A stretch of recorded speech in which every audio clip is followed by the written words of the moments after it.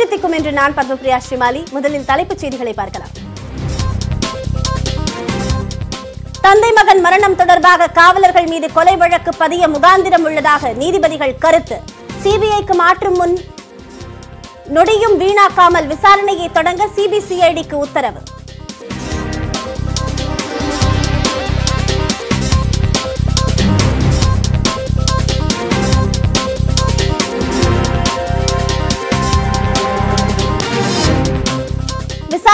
போது மிரட்டும் தொனியில் செயல்பட்ட கூடுதல் காவல் கண்காணிப்பாளர் குமார்.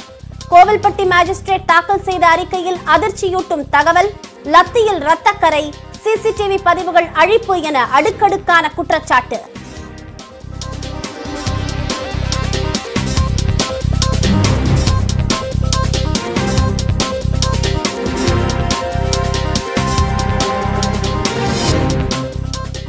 தூத்துக்குடி மாவட்ட புதிய எஸ்பியாக ஜெயக்குமார் நியமனம்.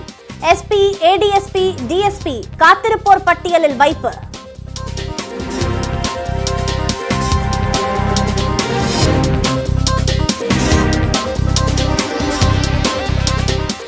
ஒரு காவல் நிலையத்தை கூட நிர்வகிக்க முடியாத முதலமைச்சர் பதவி விலக வேண்டும். திமுக தலைவர் மு ஸ்டாலின் காட்டம்.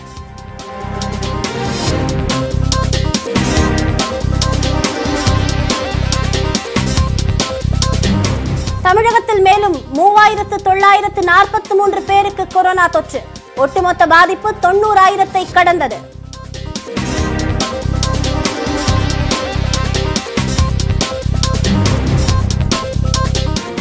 தமிழகத்தில் ஜூன் மாதத்தில் மட்டும் அறுபத்தெட்டாயிரம் பேருக்கு பரவிய தொற்று.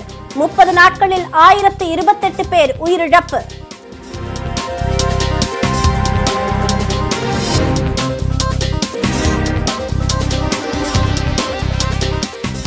உயர்கல்வித்துறை அமைச்சர் அன்பழகனுக்கு கொரோனா.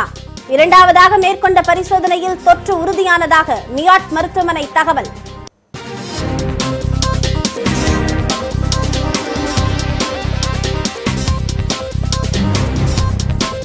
நவம்பர் மாத இறுதி வரை எண்பது கோடி பேருக்கு இலவச அரிசி வழங்கப்படும் என பிரதமர் மோடி அறிவிப்பு. சிறிய தவறுகளுக்கு மிகப்பெரிய விலை கொடுக்க நேரிடும் என்றும் நாட்டு மக்களுக்கு எச்சரிக்கை. சர்வதேச வர்த்தக நடைமுறைகளுக்கு எதிரானது என சீனா கண்டனம்.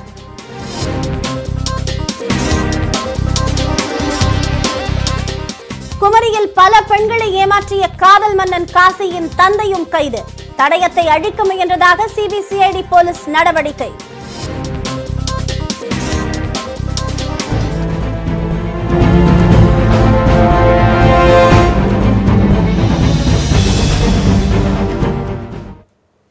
ஜெயராஜ் பென்னிக்ஸ் உடலில் அதிக காயங்கள் இருப்பது பிரேத பரிசோதனை அறிக்கையின் மூலம் தெரிய வந்திருப்பதால் சம்பந்தப்பட்ட காவலர்கள் மீது கொலை வழக்கு பதிவு செய்ய முகாந்திரம் இருப்பதாக உயர்நீதிமன்ற மதுரை கிளை கூறியிருக்கிறது. சாத்தான்குளம் வியாபாரிகள் ஜெயராஜ் அவரது மகன் ஃபென்னிக்ஸ் உயிரிழப்பு குறித்த விசாரணைக்கு ஒத்துழைக்க மறுத்தது தொடர்பான அவமதிப்பு வழக்கு உயர்நீதிமன்ற மதுரை கிளையில் நீதிபதிகள் பிரகாஷ் புகழேந்தி அமர்வில் விசாரணைக்கு வந்தது. அப்போது கூடுதல் கண்காணிப்பாளர் குமார் டிஎஸ்பி பிரதாபன் காவலர் மகாராஜன் ஆகியோர் நீதிமன்றத்தில் ஆஜராகினர். அரசு தரப்பில் ஆஜரான வழக்கறிஞர் நீதிமன்ற அறிவுறுத்தல் படி விசாரணைக்கு ஒத்துழைக்க மறுத்த ஏடிஎஸ்பி மற்றும் டிஎஸ்பி ஆகியோர் காத்திருப்போர் பட்டியலில் வைக்கப்பட்டுள்ளதாகவும் நீதித்துறை நடுவரை அவதூறாக பேசிய காவலர் மகாராஜன் பணியிடை நீக்கம் செய்யப்பட்டுள்ளதாகவும் தெரிவித்தார்.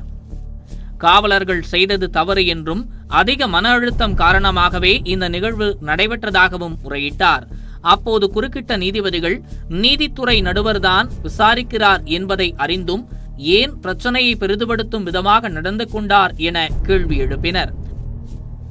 மேலும் தந்தை மகன் பிரேத பரிசோதனையில் அவர்களது உடலில் மோசமான காயங்கள் இருப்பது உறுதியாவதாக குறிப்பிட்ட நீதிபதிகள் அதன் அடிப்படையில் சம்பந்தப்பட்ட காவலர்கள் மீது ஐபிசி முன்னூற்று இரண்டாவது பிரிவின் கீழ் கொலை வழக்கு பதிவு செய்ய முகாந்திரம் இருப்பதாக கூறினர்.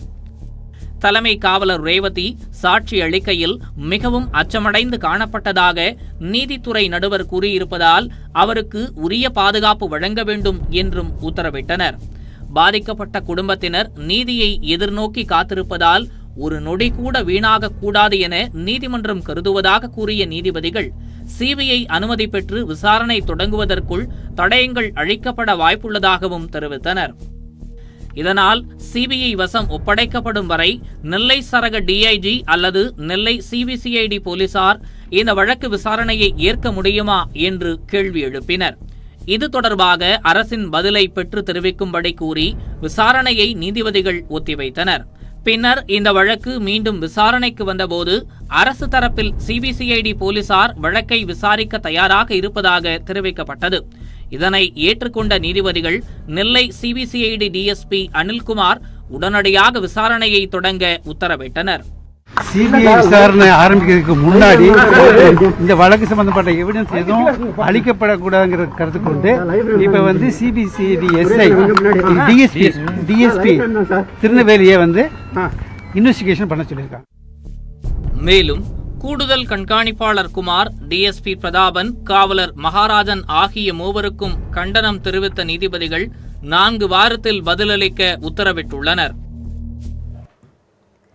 சாத்தான்குளம் விவகாரத்தை கொலை வழக்காக பதிவு செய்ய முகாந்திரம் இருப்பதாக கூறி விசாரணையை தொடங்க சிபிசிஐடிக்கு நீதிபதிகள் உத்தரவிட்டிருந்த நிலையில் சிபிசிஐடி டிஎஸ்பி அனில்குமார் முறையாக விசாரித்தால் சிபிஐக்கு மாற்றும் முடிவை தமிழக அரசு பரிசீலிக்கலாம் என சென்னை உயர்நீதிமன்ற மதுரை கிளை கருத்து தெரிவித்திருக்கிறது.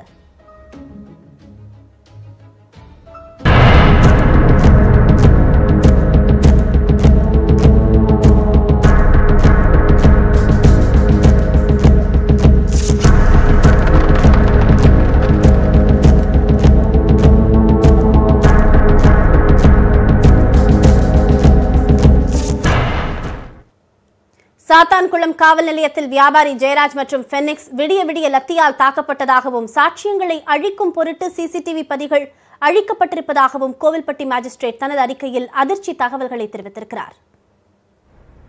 சாத்தான்குளம் சம்பவம் தொடர்பாக நடத்திய விசாரணையின் அடிப்படையில் சென்னை உயர்நீதிமன்ற பதிவாளருக்கு மாஜிஸ்ட்ரேட் பாரதிதாசன் அறிக்கை சமர்ப்பித்துள்ளார். அதில் கடந்த இருபத்தி எட்டாம் தேதி சாத்தான்குளம் காவல் நிலையத்தில் விசாரணைக்காக சென்றபோது காவல்துறை கூடுதல் கண்காணிப்பாளர் குமார் மற்றும் டிஎஸ்பி பிரதாபன் ஆகியோர் அலட்சிய மனப்பான்மையுடனும் பொறுப்பற்ற தன்மையுடனும் நின்று கொண்டிருந்ததாக குறிப்பிட்டுள்ளார். முறையான வணக்கம் செலுத்தாமல் உடல் பலத்தை காட்டி மிரட்டும் தொனியில் குமார் இருந்ததாகவும் சுட்டிக்காட்டியுள்ளார். நண்பகல் ஒரு மணி அளவில் விசாரணையை தொடங்கிய நிலையில் காவலர்கள் சம்பந்தமான பதிவேடுகள் மற்றும் கோப்புகளை கேட்டபோது கூடுதல் கண்காணிப்பாளர் குமார் அங்குள்ள காவலர்களிடம் இதை கொண்டு வா அதை கொண்டு வா என மிரட்டும் தொனியில் கூறிக்கொண்டிருந்ததாகவும் பின்னர் தாமதமாக கோப்புகளை சமர்ப்பித்ததாகவும் கூறியுள்ளார். காவல் நிலையத்தில் உள்ள சிசிடிவி ஹார்ட் போதுமான சேமிப்பு திறன் இருந்தபோதும் தினப்படி தானாகவே அழிந்து போகும் அளவிற்கு மாற்றம் செய்யப்பட்டிருந்தது. சம்பவம் நடைபெற்ற பத்தொன்பதாம் தேதி முதல் எவ்வித காணொளி பதிவுகளும் கணினியில் இல்லை. அவை அழிக்கப்பட்ட நிலையிலேயே இருந்ததாகவும் மாஜிஸ்ட்ரேட் குறிப்பிட்டுள்ளார். தலைமை காவலர் ரேவதியிடம் வாக்குமூலம் பெறப்பட்ட போது அவர் மிகுந்த பயத்துடன் தான் சாட்சியாக சொல்வதை வெளியே கூற வேண்டாம் என்று கேட்டுக்கொண்டதாக கூறியுள்ளார்.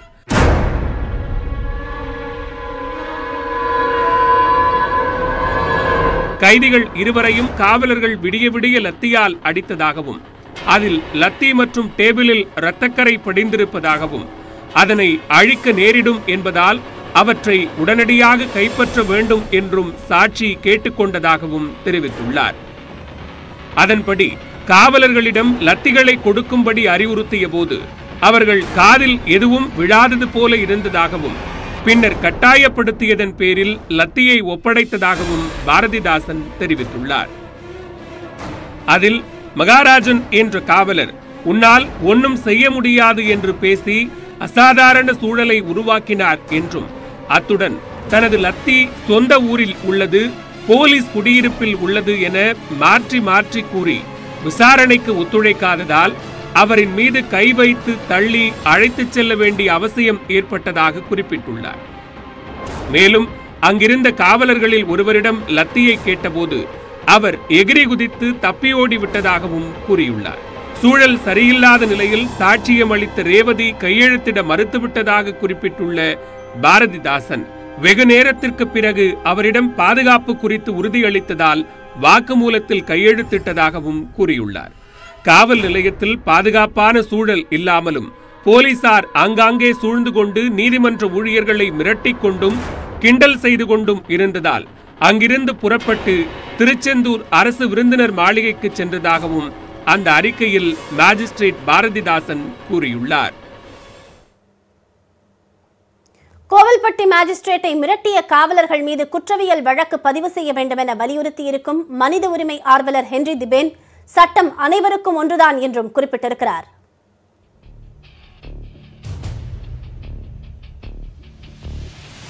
உடனடியாக மேஜிஸ்ட்ரேட் கொடுத்திருக்கக்கூடிய புகாரை வைத்து ரெஜிஸ்ட்ராருக்கு அதை அனுப்பியிருக்கிறார்கள். ரெஜிஸ்டார் அவருக்கு அங்கீகாரம் கொடுத்து நீங்கள் தயவு செய்து ஒரு எஃப்ஐஆரை ரெஜிஸ்டர் பண்ணுங்கன்னு சொல்லி புதிதாக வந்திருக்கக்கூடிய எஸ்பி திரு. ஜெயக்குமார் முதல் வேளையாக அந்த காவல் நிலைய யாரெல்லாம் அவரை பணியில் தடுக்கினார்களோ மிரட்டினார்களோ வீடியோ எடுத்தினார்களோ தகாத வார்த்தைகள் பயன்படுத்தி மிரட்டினார்களோ அவர்கள் அனைவருக்கும் எதிராக குற்றவியல் வழக்கு பதிவு செய்து அவர்களை கைது செய்து ரிமாண்ட் பண்ணுமா வேண்டாமான்னு சரவணன் மேஜிஸ்ட்ரேட் முடிவு பண்ணட்டும். இதுதான் செய்ய வேண்டியதான் சட்டம். சட்டம் தனிப்பட்ட நபர்களுக்கு தனியாகவும் காக்கி சட்டை போட்டவர்களுக்கு தனியாக அவர்களுக்கு அவர்கள் தவறு செய்ததாக கருவினா அவர்களுக்கு கண்டெம்ட்டு சாதாரண ஆட்களுக்கு சிறையா? கிடையாது. சமமாக சட்டத்தை பயன்படுத்துங்கள்.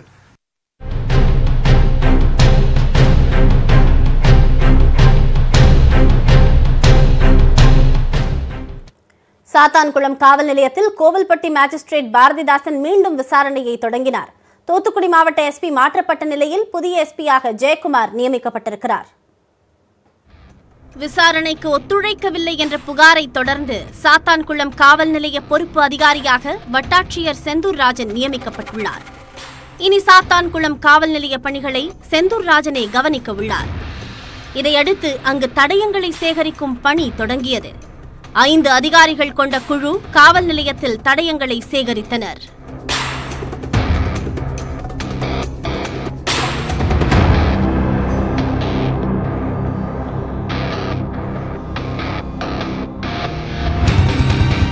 தொடர்ந்து பிற்பகலில் கோவில்பட்டி மேஜிஸ்ட்ரேட் பாரதிதாசன் மீண்டும் காவல் நிலையத்தில் விசாரணையை தொடங்கினார்.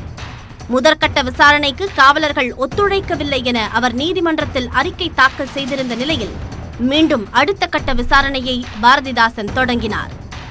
ஏற்கனவே சாட்சியமளித்த காவலர் ரேவதியிடம் மீண்டும் விசாரணை நடத்தப்பட்டு அவரது வாக்குமூலம் வீடியோவாக பதிவு செய்யப்பட்டது. இதனிடையே நீதிமன்ற உத்தரவின்படி கூடுதல் கண்காணிப்பாளர் குமார் டிஎஸ்பி பிரதாபன் ஆகியோர் காத்திருப்போர் பட்டியலுக்கு மாற்றப்பட்டிருக்கிறார்கள். நீதிபதியை அவமதிக்கும் வகையில் பேசிய காவலர் மகாராஜன் பணியிடை நீக்கத்திற்கு ஆளாகியிருக்கிறார். இதேபோல் தூத்துக்குடி மாவட்ட காவல் கண்காணிப்பாளர் அருண் பாலகோபாலனும் காத்திருப்போர் பட்டியலில் வைக்கப்பட்டுள்ளார். அவருக்கு பதில் விழுப்புரம் மாவட்ட எஸ்பி ஜெயக்குமார் தூத்துக்குடி மாவட்ட காவல் கண்காணிப்பாளராக நியமிக்கப்பட்டிருக்கிறார். தென்மண்டல ஐஜி சண்முக ராஜேஸ்வரன் இன்றோடு ஓய்வு பெறுவதையொட்டி தென்மண்டல புதிய ஐஜியாக முருகன் நியமிக்கப்பட்டிருக்கிறார். நீதிமன்ற உத்தரவுப்படி தந்தை மகன் பிரேத பரிசோதனை அறிக்கை மேஜிஸ்ட்ரேட் பாரதிதாசன் அறிக்கை ஆகியவற்றை நெல்லை சரக டிஐஜி பிரவீன்குமாரிடம் ஒப்படைக்கப்பட்டன. அவர் அந்த ஆவணங்களை சிபிசிஐடி டிஎஸ்பி அனில்குமாரிடம் ஒப்படைத்ததும் புதன்கிழமை முதல் அவர் விசாரணையை தொடங்கவிருக்கிறார். சாத்தான்குளம் சம்பவத்தை விசாரிக்கும் சிபிசிஐடி டிஎஸ்பி அனில்குமார். ஏற்கனவே நெல்லை முன்னாள் மேயர் உமா மகேஸ்வரி உள்ளிட்ட மூவர் கொலை வழக்கு நாகர்கோவில் காசி பாலியல் வழக்கு ஆகியவற்றை விசாரித்து வருகிறார். ஜெயராஜ் அவரது மகன் ஃபென்னிக்ஸ் ஆகியோர் நீதிமன்ற காவலில் சிறையில் அடைப்பதற்கு முன்பு சாத்தான்குளம் அரசு மருத்துவமனையில் இருவருக்கும் போலீசார் தகுதிச் சான்றிதழ் பெற்றிருந்தனர். ஆனால் அவர்கள் இருவரும் சிறையிலேயே உயிரிழந்த நிலையில் மறுநாள் முதல் அவர்களுக்கு தகுதிச் சான்றிதழ் வழங்கிய அரசு மருத்துவர் வினிலா நான்கு நாட்கள் மருத்துவ விடுப்பில் சென்றார். விடுப்பு முடிந்து இன்று அவர் பணியில் சேர்ந்திருக்க வேண்டும். ஆனால் தற்போது அவர் மேலும் பதினைந்து நாட்கள் விடுப்பில் சென்றது பல்வேறு சந்தேகங்களை எழுப்பியுள்ளது இதனிடையே சாத்தான்குளம் காவல் நிலையத்தை தொடர்ந்து சாத்தான்குளம் அரசு மருத்துவமனையில் மாஜிஸ்ட்ரேட் பாரதிதாசன் விசாரணை மேற்கொண்டார். ஆவணங்களை பெற்றுக்கொண்ட சிபிசிஐடி டிஎஸ்பி விசாரணையையும் தொடங்கியிருக்கிறார்.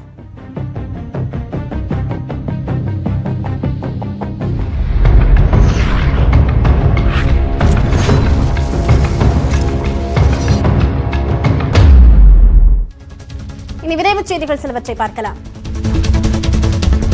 தமிழக உயர்கல்வித்துறை அமைச்சர் கே பி அன்பழகனுக்கு கொரோனா தொற்று உறுதி செய்யப்பட்டுள்ளதாக மியாட் மருத்துவமனை தெரிவித்திருக்கிறது. இதுகுறித்து அந்த மருத்துவமனை வெளியிட்டிருக்கும் அறிக்கையில் முதலில் அன்பழகனுக்கு குறைந்த அளவிலான அறிகுறிகள் தென்பட்டதாகவும் தொடர்ந்து எடுக்கப்பட்ட சிடி ஸ்கேனில் கொரோனா தொற்று இல்லை என முடிவுகள் வந்ததாகவும் தெரிவிக்கப்பட்டது. எனினும் அவர் மருத்துவர்களின் கண்காணிப்பில் வைக்கப்பட்டதாக கூறப்பட்டிருக்கிறது. இந்த நிலையில் அன்பழகனுக்கு நேற்று குறைவான இருமல் இருந்ததாகவும் இரண்டாவது முறை பரிசோதனை செய்ததில் கொரோனா தொற்று கண்டறியப்பட்டிருப்பதாகவும் தெரிவிக்கப்பட்டிருக்கிறது. அமைச்சரின் உடல்நிலை சீராக இருப்பதாக கூறியிருக்கும் மியாட் மருத்துவமனை மருத்துவர்களின் தொடர் கண்காணிப்பில் அவர் இருப்பதாகவும் தெரிவித்திருக்கிறது.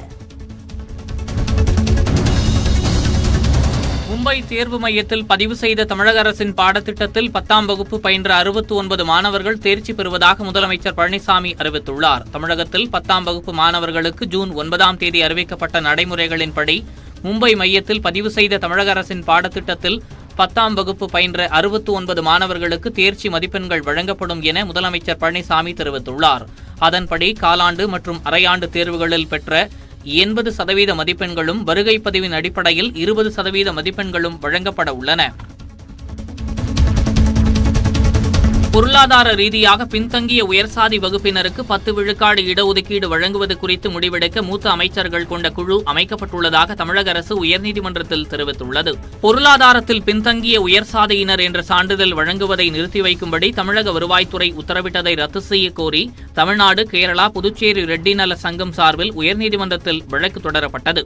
இந்த வழக்கு விசாரணைக்கு வந்தபோது தமிழக அரசிடம் எந்த ஆலோசனையும் நடத்தாமலேயே மத்திய அரசு இந்த சட்டத்தை கொண்டு வந்துவிட்டதாக தமிழக அரசு தரப்பில் தெரிவிக்கப்பட்டது.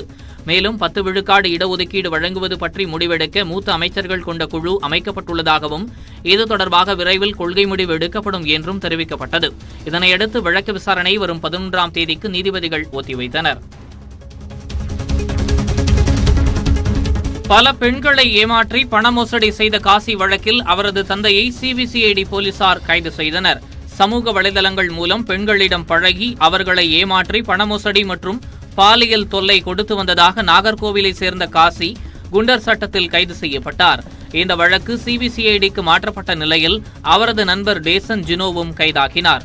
இதுகுறித்து சிபிசிஐடி போலீசார் தீவிரமாக விசாரணை நடத்தி வரும் நிலையில் காசி மீதான குற்றச்சாட்டுகளுக்கு ஏதுவான சாட்சியங்கள் மற்றும் தடயங்களை அவரது தந்தை தங்கபாண்டியன் அழித்தது தெரியவந்தது. இதனையடுத்து காசியின் தந்தை தங்கபாண்டியனை கைது செய்த சிபிசிஐடி போலீசார் இதுகுறித்து விசாரித்து வருகின்றனர். கோவையில் தாய் கண்முன்னே மகனை தாக்கிய போலீசார் மீது எடுக்கப்பட்ட நடவடிக்கை குறித்து இரண்டு வாரத்தில் பதிலளிக்குமாறு மாநகர காவல் ஆணையருக்கு மாநில மனித உரிமைகள் ஆணையம் உத்தரவிட்டுள்ளது.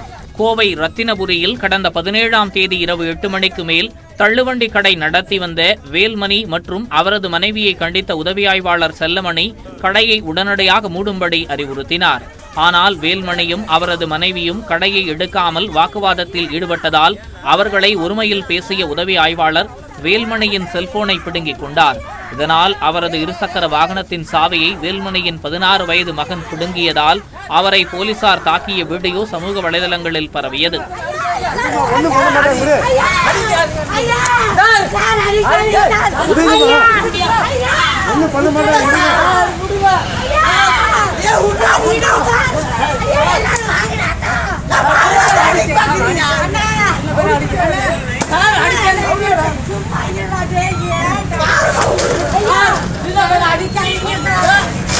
இதனை தானாக முன்வந்து விசாரணைக்கு எடுத்துக்கொண்ட மாநில மனித உரிமைகள் ஆணையம் இரண்டு வாரங்களில் அறிக்கை தாக்கல் செய்ய கோவை காவல் ஆணையருக்கு உத்தரவிட்டுள்ளது.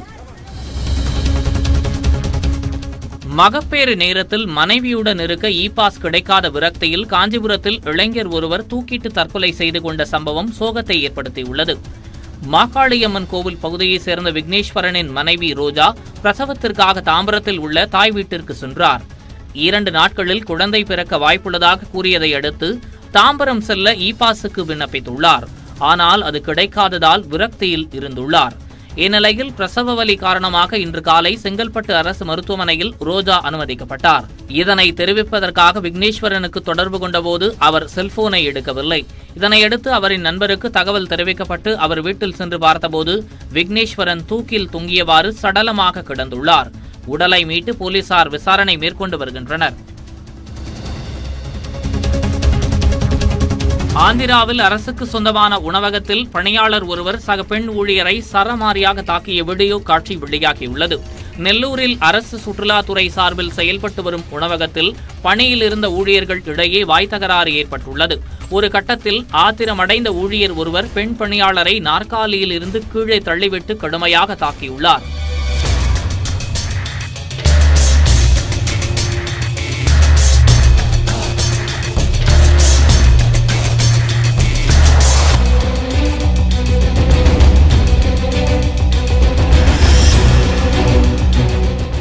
கடந்த இருபத்தி ஏழாம் தேதி நடைபெற்ற இந்த சம்பவம் தொடர்பாக காவல்துறையினர் வழக்கு பதிவு செய்து விசாரணை மேற்கொண்டு வருகின்றனர்.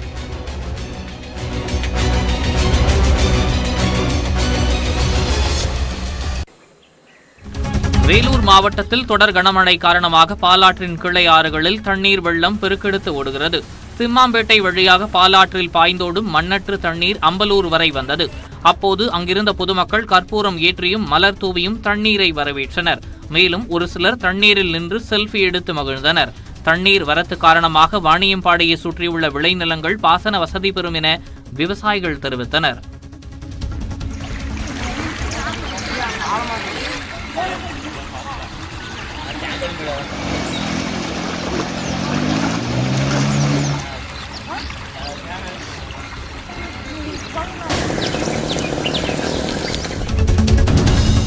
சத்தியமங்கலம் அடுத்த திம்பம் மலைப்பாதையில் பதிமூன்றாவது கொண்டை ஊசி விளைவில் கரும்பு ஏற்றி வந்த லாரி பாரம் தாங்காமல் கவிழ்ந்து விபத்திற்குள்ளானது.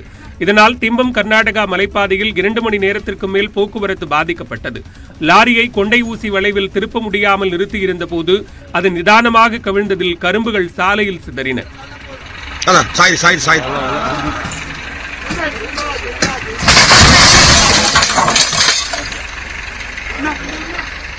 சாலையில் கவிழ்ந்து கிடக்கும் லாரியை போலீசார் அப்புறப்படுத்தி வரும் நிலையில் புளிஞ்சூர் சோதனை சாவடியில் அதிக பாரம் ஏற்றி வரும் லாரிகளை அதிகாரிகள் கண்டுகொள்ளாமல் விடுவதே இதுபோன்ற விபத்துக்கள் அடிக்கடி நடக்க காரணம் என வாகன ஓட்டிகள் குற்றம் சாட்டினர்.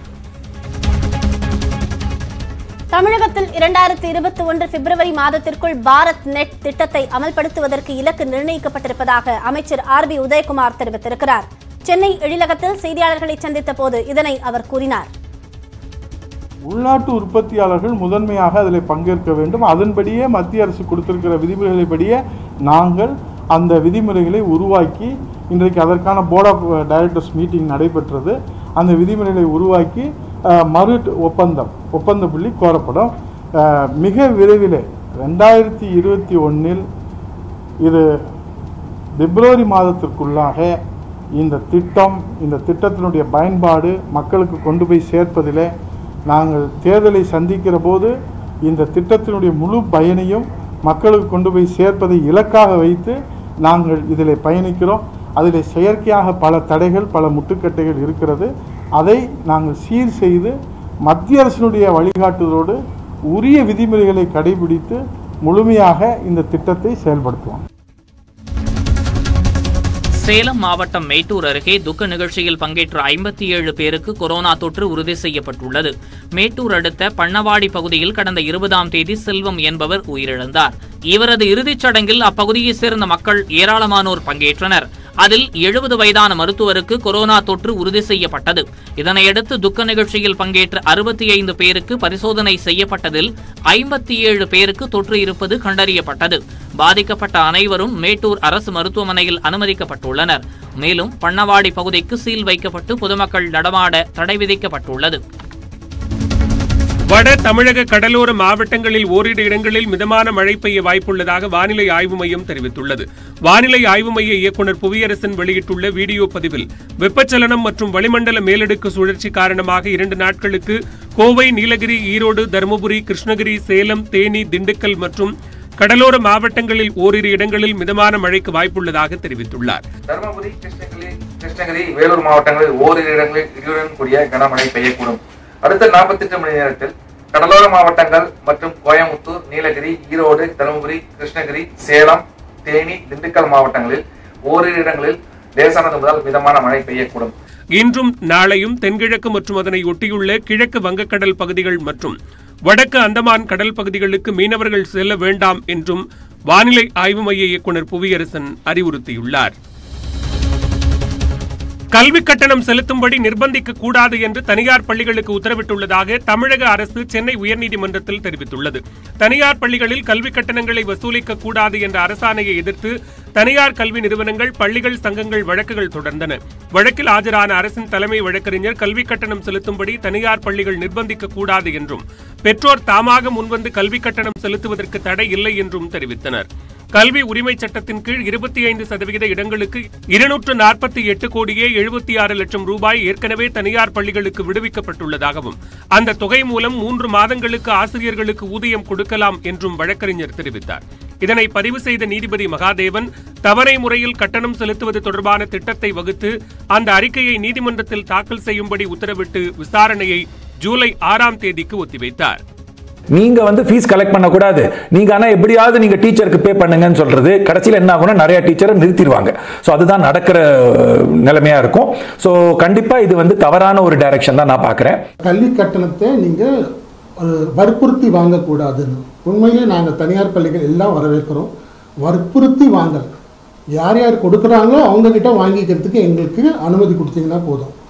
அது மட்டும் இல்லாமல் அது எப்படி அரசாங்கம் சொல்லுதோ உயர்நீதிமன்றம் எப்படி சொல்லுதோ அதன்படி நாங்கள் வாங்கிக்குவோம். மாதம் மாதம் வாங்கிக்கிறதுனாலும் சரி அல்லது மூணு மாதத்துக்கு ஒரு தடவை வாங்கிக்குவோம் இடைவேளைக்கு பிறகு செய்திகளை தொடர்ந்து பார்க்கலாம்.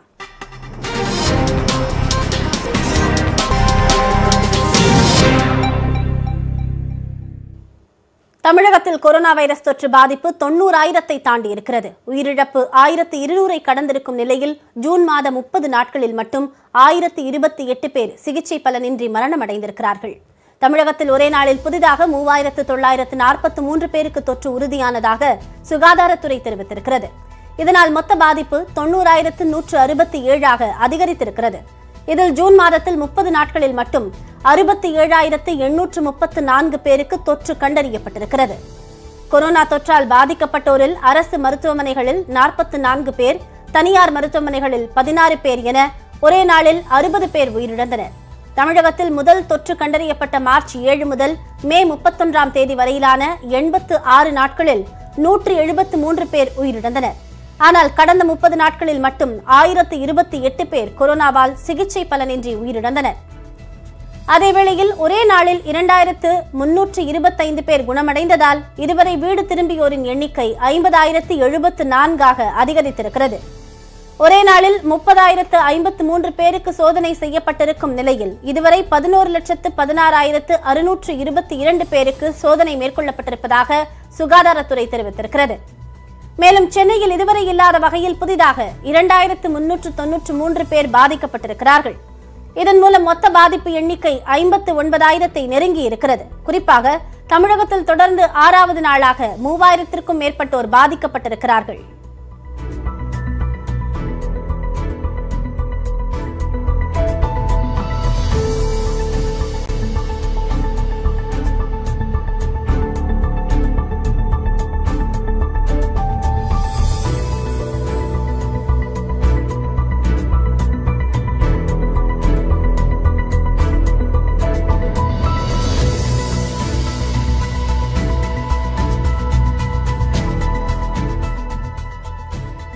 தமிழகத்தில் பெரம்பலூர் புதுக்கோட்டை அரியலூர் தவிர்த்து பிற மாவட்டங்கள் அனைத்திலும் இன்று புதிதாக கொரோனா தொற்று கண்டறியப்பட்டது. சென்னைக்கு அடுத்தபடியாக மதுரையில் இன்று ஒரே நாளில் இருநூற்று ஐம்பத்தி ஏழு பேர் கொரோனா தொற்றால் பாதிக்கப்பட்டிருக்கிறார்கள். இதனால் மதுரையில் கொரோனாவால் பாதிக்கப்பட்டோர் எண்ணிக்கை இரண்டாயிரத்து ஐநூற்று ஐம்பத்தி ஏழாக அதிகரித்திருக்கிறது. கடந்த சில நாட்களாக கொரோனா தொற்று அதிகம் கண்டறியப்பட்ட சேலம் திருவண்ணாமலை மற்றும் வேலூர் மாவட்டங்களில் பாதிப்பு சற்று குறைந்திருக்கிறது. அதே நேரத்தில் பாதிப்பு குறைந்து காணப்பட்ட சிவகங்கையில் இன்று ஒரே நாளில் ஐம்பது பேரும் தருமபுரியில் பதினோரு பேரும் கொரோனா தொற்றால் பாதிக்கப்பட்டிருக்கிறார்கள்.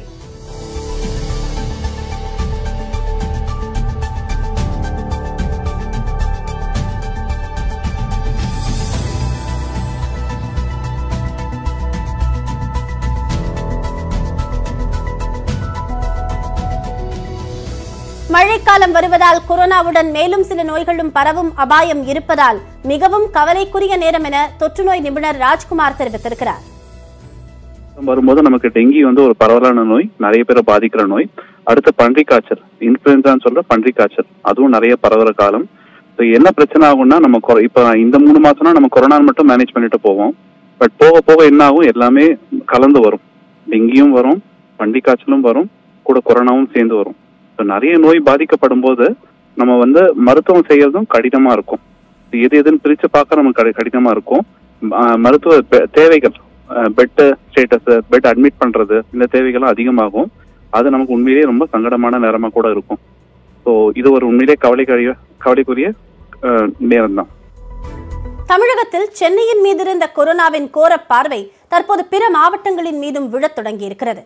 பாதிப்பு இரட்டிப்பாகும் மாவட்டங்களின் எண்ணிக்கை அதிகரித்து வருகிறது.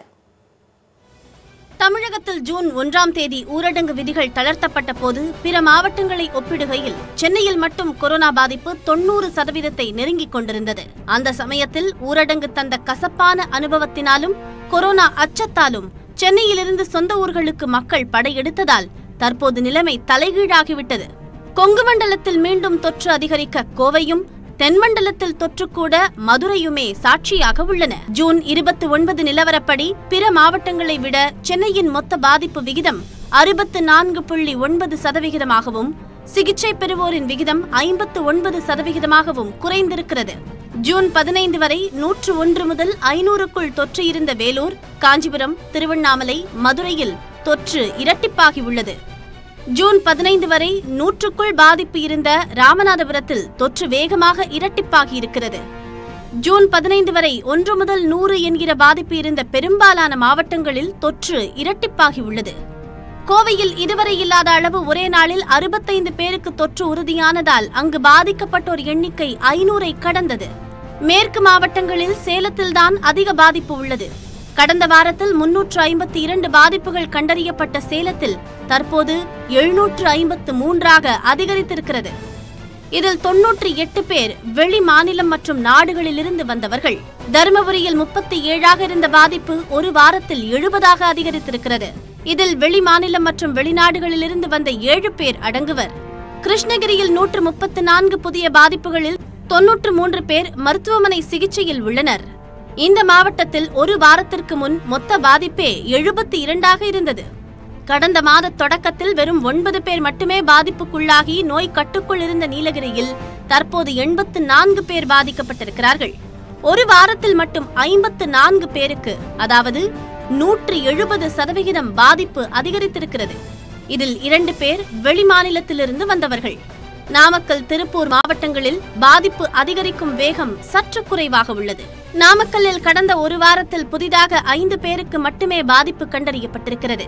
இதனால் பாதிப்பு எண்ணிக்கை தொன்னூற்று நான்காக அதிகரித்திருக்கிறது. அதேபோன்று திருப்பூரில் நூற்று இருபத்தி இரண்டாக இருந்த பாதிப்பு எண்ணிக்கை தற்போது நூற்று அறுபதாக உயர்ந்திருக்கிறது.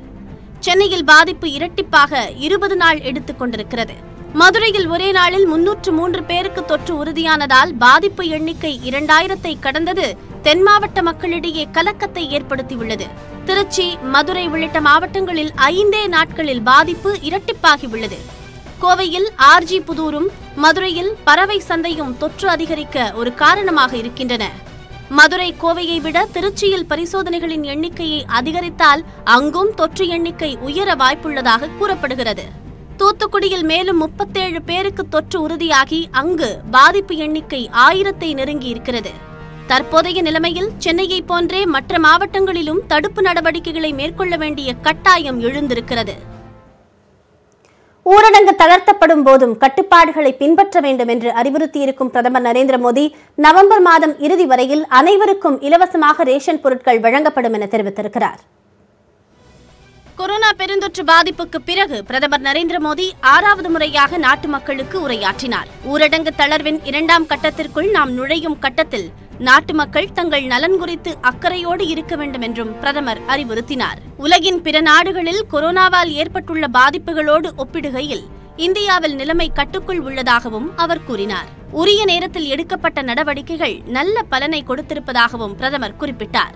கட்டுப்பாட்டு மண்டலங்களில் சிறப்பு கவனம் செலுத்தப்பட வேண்டும் என்ற பிரதமர் விதிகளை யாரேனும் மீறினால் அவர்களுக்கு அறிவுறுத்த வேண்டும் எனவும் வலியுறுத்தினார். மக்களின் அலட்சியம் வருத்தமளிப்பதாகவும் விதிகளுக்கு அப்பாற்பட்டவர்கள் யாரும் இல்லை என்றும் அவர் குறிப்பிட்டார். ஊரடங்கு காலத்தில் ஒருவர் கூட பசியோடு உறங்கச் செல்லக்கூடாது என்பதற்காக அரசும் பொதுச் சமூகமும் இணைந்து செயல்பட்டதாக தெரிவித்தார். பிரதமரின் கரீப் கல்யாண் யோஜனா திட்டத்தின் கீழ் ஒரு லட்சத்து எழுபத்தைந்தாயிரம் கோடி ரூபாய்க்கான திட்டம் அறிவிக்கப்பட்டதை அவர் குறிப்பிட்டார். கடந்த மூன்று மாதங்களில் இருபது கோடி ஏழை குடும்பங்களின் வங்கிக் கணக்குகளில் முப்பத்தோராயிரம் கோடி ரூபாய் செலுத்தப்பட்டுள்ளதாக தெரிவித்த பிரதமர் ஒன்பது கோடிக்கும் அதிகமான விவசாயிகளின் வங்கிக் கணக்குகளில் பதினெட்டாயிரம் கோடி ரூபாய் செலுத்தப்பட்டிருப்பதாகவும் கூறினார். இதுவரை எண்பது கோடி பேருக்கு கடந்த மூன்று மாதங்களாக ரேஷன் பொருட்கள் இலவசமாக வழங்கப்பட்டுள்ளதாக தெரிவித்த பிரதமர் இலவச ரேஷன் பொருட்களை பெற்றவர்களின் எண்ணிக்கை ஐரோப்பிய யூனியனின் மக்கள் தொகையை விட இருமடங்கு அதிகம் என்றும் அமெரிக்க மக்கள் தொகையை விட இரண்டரை மடங்கு அதிகம் என்றும் குறிப்பிட்டார். நவம்பர் மாத இறுதி வரை ரேஷன் பொருட்கள் இலவசமாக வழங்கப்படும் என்று தெரிவித்த பிரதமர் இதற்காக தொன்னூறாயிரம் கோடி ரூபாய் ஒதுக்கீடு செய்யப்பட உள்ளதாகவும் தெரிவித்தார். இதன் மூலம் ஒவ்வொருவரும் ஐந்து கிலோ அரிசி அல்லது கோதுமை மற்றும் கடலையை இலவசமாக பெறுவார்கள் என்றும் அவர் தெரிவித்தார். ஏழைகளுக்கு அரசால் உணவளிக்க முடிகிறது என்றால் அதற்கு விவசாயிகளும் வரி செலுத்துவோருமே காரணம் என்றும் அவர்களுக்கு தனது நெஞ்சார்ந்த நன்றியை தெரிவிப்பதாகவும் பிரதமர் கூறினார். ஒரு காவல் நிலையத்தை கூட நிர்வகிக்க முடியாத முதலமைச்சர் எடப்பாடி பழனிசாமி முதலமைச்சர் பதவியிலிருந்து விலக வேண்டும் என திமுக தலைவர் மு க ஸ்டாலின் வலியுறுத்தியிருக்கிறார். சாத்தான்குளம் தந்தை மகன் மரணம் குறித்த அறிக்கை வெளியிட்டிருக்கும் ஸ்டாலின் வரலாற்றில் முதன்முறையாக வருவாய்த்துறையின் கட்டுப்பாட்டில் ஒரு காவல் நிலையம் கொண்டுவரப்பட்டிருப்பதாக கூறியிருக்கிறார். உயர்நீதிமன்றம் அனுப்பிய ஒரு நீதிபதியை ஒரு காவலர் தானாகவே மிரட்டினார் என்பதை எப்படி நம்புவது எனவும் ஸ்டாலின் வினவியிருக்கிறார். மன உளைச்சல் இருந்தால் போலீசார் யாரை வேண்டுமானாலும் மிரட்டலாமா எனவும் கேள்வி எழுப்பியிருக்கும் ஸ்டாலின் போலீஸ் நிலையத்தில் கொலைக்கான சாட்சியங்கள் அழிப்பு ஆவணங்கள் தர மறுப்பு உள்ளிட்டவை எல்லாம் டிஎஸ்பி ஏடிஎஸ்பி ஆகியோர் அளவில் முடிவெடுத்து அரங்கேற்றப்பட்டவை என்பதை நம்ப முடியவில்லை என்றும் கூறியிருக்கிறார். அதோடு இவையெல்லாம் காவல்துறையை தன் வசம் வைத்திருக்கும் முதலமைச்சருக்கு தெரியாமல் நடந்ததா என்றும் கேள்வி எழுப்பியிருக்கிறார். உடல்நலக்குறைவு மூச்சு திணறலால் உயிரிழந்தார்கள் என முதலமைச்சர் கூறியதன் பின்னணி என்னவென்றும் ஸ்டாலின் வினவியிருக்கிறார். முதலமைச்சர் எடப்பாடி பழனிசாமி பதவியை விட்டுச் செல்ல மனமில்லை என்றால் போலீஸ் துறையை வேறொருவரிடம் ஒப்படைக்க வேண்டும் என்றும் அவர் கூறியிருக்கிறார். அதோடு அப்பாவிகளாக போலீஸ் நிலையத்திற்கு சென்று உடல்களாக அனுப்பப்பட்ட ஜெயராஜ் பென்னிக்ஸ் குடும்பத்திற்கு நீதி கிடைக்க வேண்டும் எனவும் மு க ஸ்டாலின் வலியுறுத்தியிருக்கிறார். மற்ற செய்திகளை இடைவேளைக்கு பிறகு பார்க்கலாம்.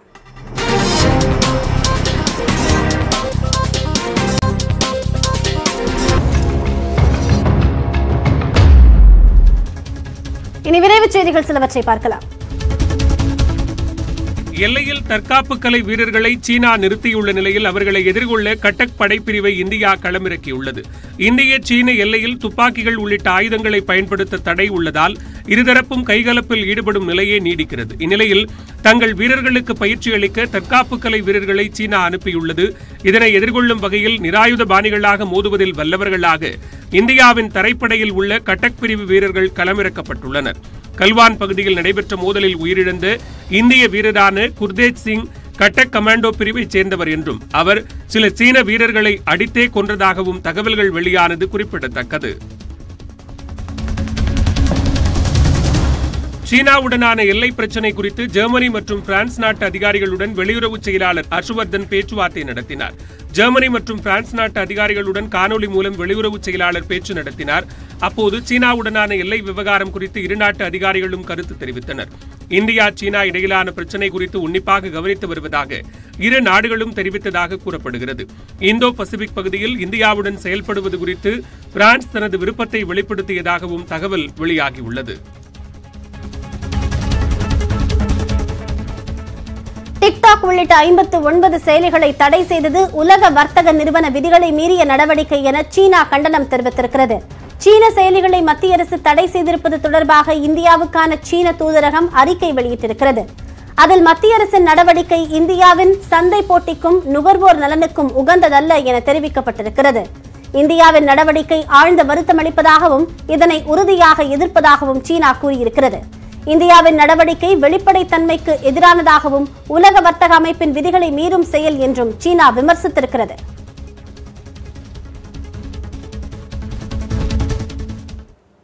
அடுத்ததாக காலத்தின் குரலில் விவாதத்தை முன்னெடுக்க நெறியாளர் பாலவேல் இணைகிறார். பாலா இனி உங்களிடம். நன்றி பத்மபிரியா. தொடர்வது காலத்தின் குரல்.